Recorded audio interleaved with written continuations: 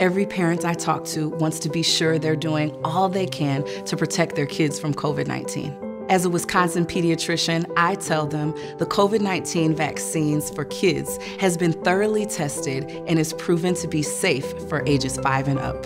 Getting your child a COVID 19 vaccine is the most effective way to help kids stay safe and in school. Ask your child's doctor what they think.